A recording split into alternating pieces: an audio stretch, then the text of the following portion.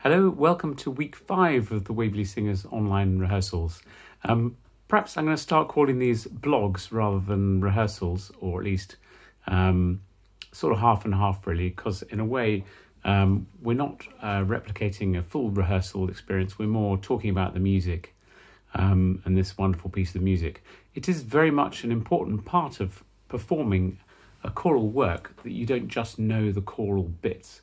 Um, it's really important to understand the work and see how your part, the chorus, fits into the work as a whole.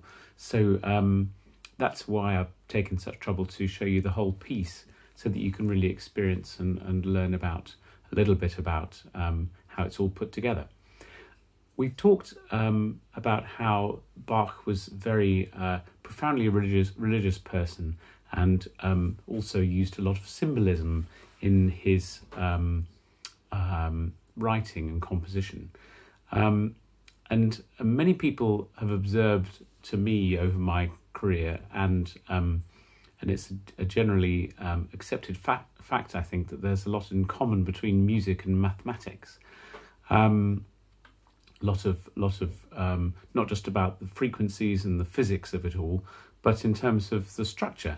And I suppose that in any in any art there is, of course, mathematical um, uh, proportions, and, and and that's true of, of paintings and of plays uh, just as much as music.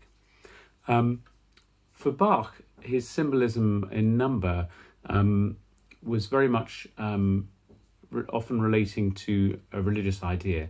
Um, and and the one thing in the B minor mass that comes back again and again is the use of the number three, which of course is is uh, denoting the Holy Trinity, Father, Son, and Holy Ghost. Um, and in fact, the whole B minor mass is um, made up of twenty seven pieces of music.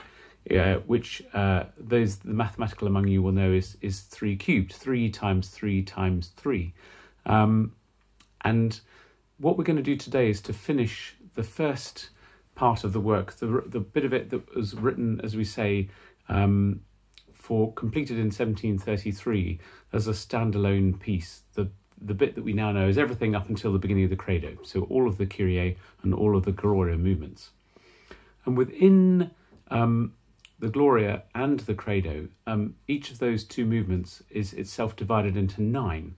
So we've got three sections of three pieces. So the symbolism is very strong. Um, he's using the number three all the time and grouping the movements um, by into threes. And as we've said before, sometimes there's this palindrome idea as well. So of course, in in in um, in a, in a series of nine movements, the movement number five becomes the important one, with four pieces before it and four pieces after it.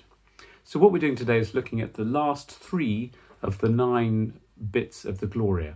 Um, and we left it last week um, rather um, tantalizingly uh, leaving it on the end of Nostrum. However, because we're only going to cover one choral piece um, new this week, I thought it would be great to um, sing through again um, the Gratias, which we did last week, um, to get your voices warmed up. But before that, and I can hear the excitement in your in your uh, uh, in your voices already. Um, there's a new warm up uh, which I've done. So um, do go through the warm up, then sing through the gratias to get your voices warmed up properly, and then we'll talk um, about the solo movement qui sedes, which which uh, is the first of the three we're discussing today.